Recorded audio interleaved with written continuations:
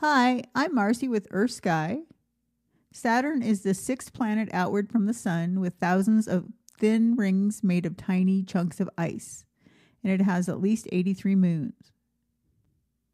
Saturn is in the faint constellation of Aquarius and near the arrowhead shaped constellation of Capricornus. Also, the bright star Fomalhaut is nearby. Saturn will be the biggest and brightest in 2023 from mid August to mid September. It's because Earth flies between the Sun and Saturn on August 26th and 27th, placing the ring planet opposite the Sun in our sky.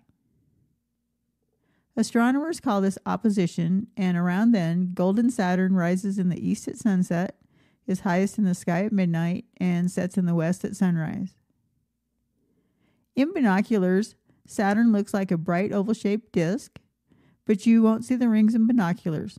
However, any small telescope will show the rings of Saturn. On August 30th, look for Saturn near the full blue moon supermoon. It's the biggest and brightest supermoon of 2023. Saturn is everyone's favorite celestial object to gaze at through a small telescope.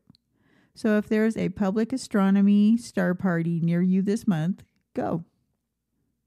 Our special thanks to these great photographers and chartmaker. Wishing you clear skies. We're Earth Sky, and I'm Marcy Curran.